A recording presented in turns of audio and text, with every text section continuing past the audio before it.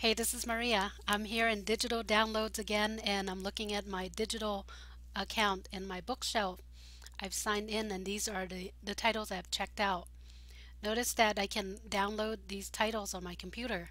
Um, I get a lot of questions from people about sometimes when you download an ebook it always want to open up in a particular software.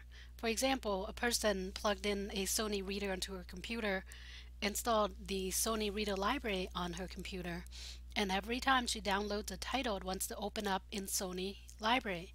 So what's the problem with that? Well sometimes you don't have the Sony Reader and you want to open up that ebook in Adobe Digital Editions. I'll show you an example here.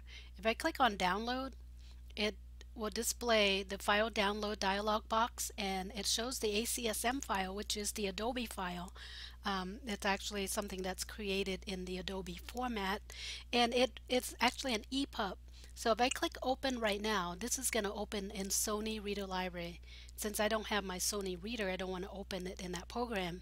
Instead, I want to have that open in Adobe Digital, Digital Editions. So instead of opening it, I want to click Save and I'm going to save it on my desktop so that it's easier for me to find to show you an example of how this works. So I'm going to save that ebook and now I'm going to close it and switch on over to my desktop and I'm going to see this title on my desktop.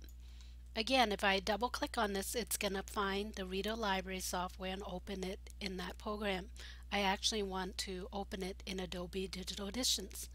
Um, I'll show you how to do this. If you don't have it on your desktop, you want to right click on it open with and you can choose program and browse for Adobe Digital Editions. A lot of times it's in your programs folder under Adobe you'll find it there. Since I use it quite a bit it's right here Adobe Digital Editions open that up and that ebook will open in Adobe Digital Editions instead of Sony Reader Library and here it is opened. So the next time you run into a software conflict instead of doing an open do a save as and then right click select open with to open it in the software that you like. Thanks for asking that question.